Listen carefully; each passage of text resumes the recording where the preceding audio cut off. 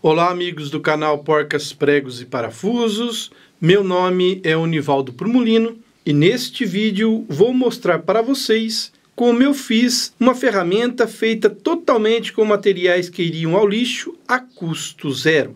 Daquele jeitão do nosso canal. Vamos lá para o material? Madeira compensada, cantoneira de alumínio, um pedaço de linha de pedreiro, alguns parafusos, porcas e uma engrenagem de uma máquina de escrever. Já fizemos o planejamento do formato que nós queremos do esquadro, essa forma em A, em letra A. Fizemos um furo nessa porca para introduzir a linha de pedreiro. Vamos usar uma furadeira e a serra tico-tico para cortar a madeira. Vamos contornar o esquadro com a cantoneira de alumínio. Vamos colocar o pêndulo no centro, que vai servir como o nível. Vamos lá para a montagem.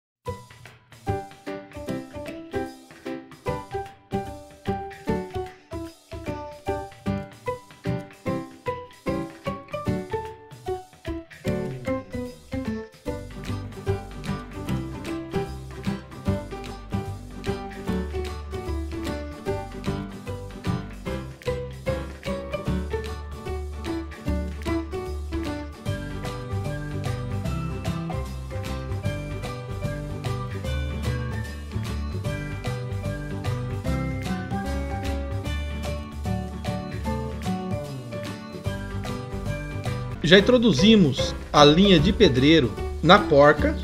Vamos unir para formar o pêndulo.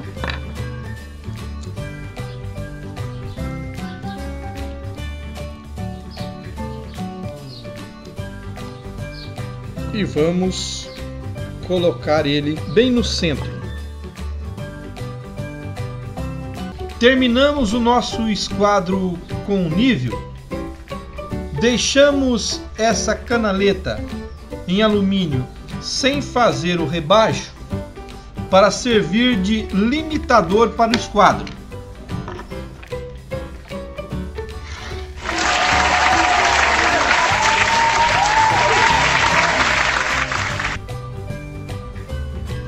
Agora vamos fazer um teste com o pêndulo e o nível.